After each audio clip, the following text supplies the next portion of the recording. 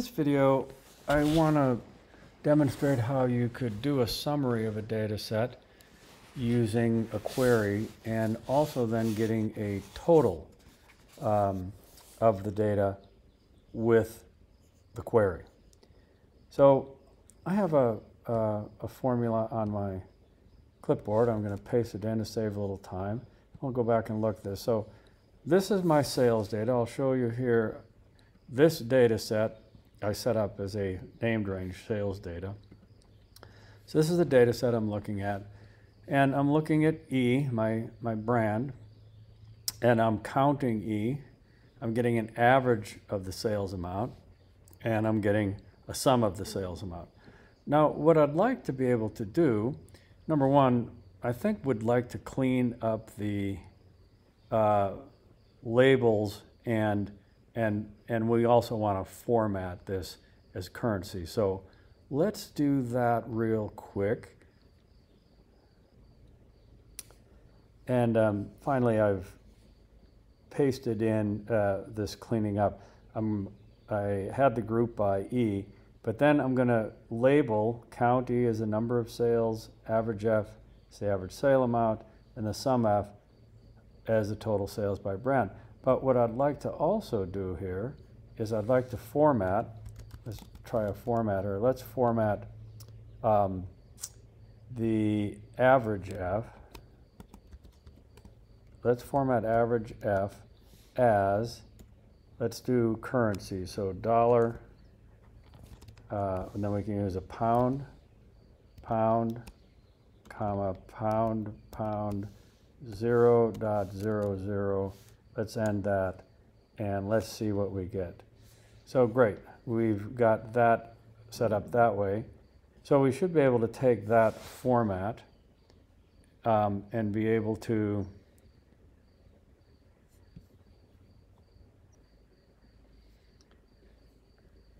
paste this format average F with a comma, sum F.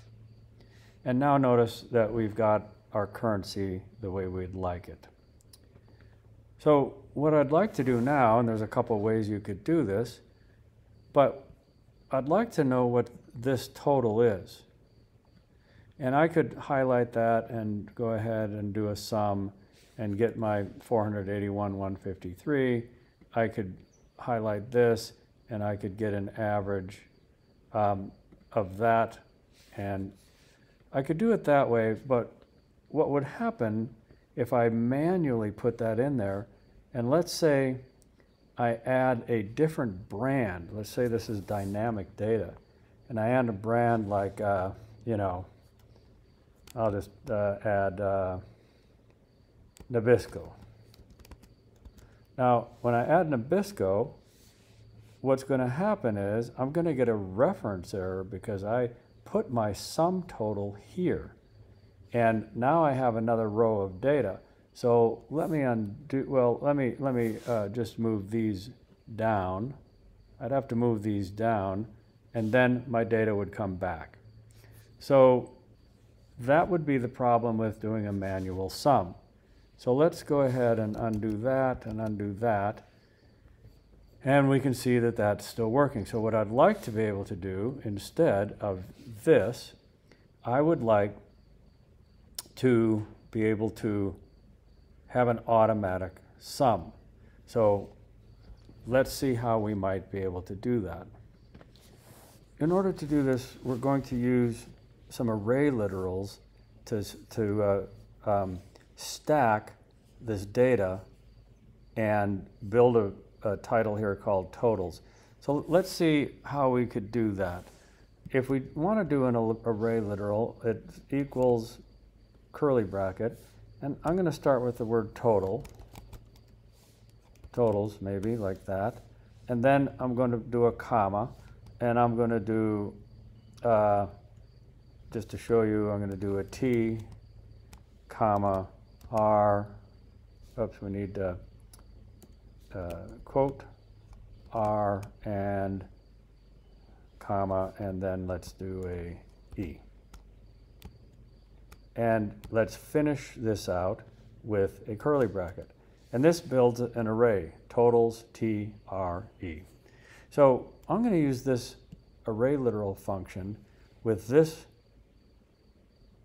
query so that I can build a row here that would allow me to build a total with, um, so actually let's just, uh, let's move this over here.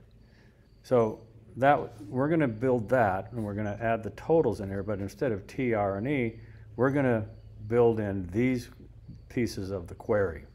So let me, let me quickly grab a copy of that and paste it and then we'll go over it.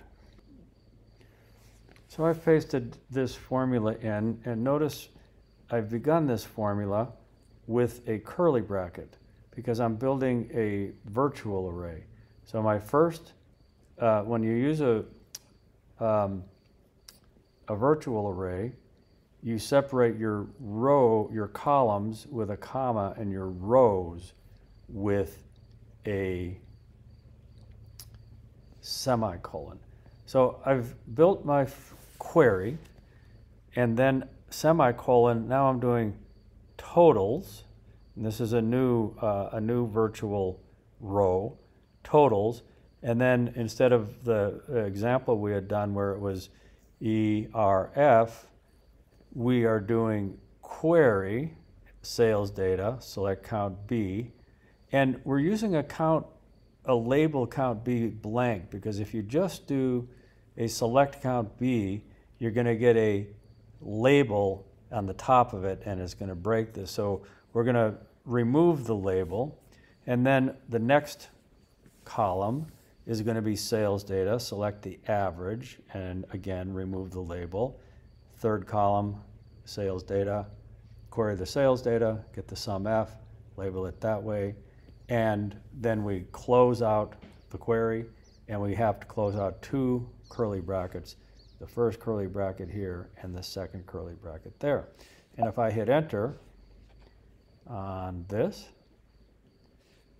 then notice what I currently have is totals. We have our totals on, and, and now I could do some work on, on, on cleaning this up. Maybe I would uh, you know, make this bold. I might make this bold, and I might do something like this and, and format some alternating colors um, and remove the header. And there we go. So now I've, I've got this. Oh, and one last thing we didn't have in here is our formatting of the, of the data. So we could have added the formatting out. We've shown that earlier.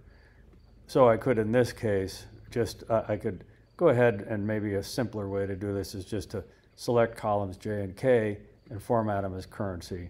And now we can see our full data and the sums, the average, the sum of how many, the average, and the sum of the total. Uh, and we can check that here because we can click here and we can see that our, our sum is 481, 153. But a very quick way, one formula, I have a. Uh, I might do something like this I was uh, building this and maybe uh, go ahead and um, maybe I would do something like that. Clean it up however you'd want to format it. Now you can see the data um, with a single formula. And again, we're, we're, we're, able to do that. Now, again, the reason this is better than um, doing a manual sum here, if I were to change your brand again back to Nabisco, notice Nabisco now fits in there. And my total is added to the end. Might be a reason not to uh, do any of your formatting. Let's unformat that. And um, because you end up with, uh, in fact, let's get rid of all those uh, as well. This way you can see if I change this to, you know, nonsense.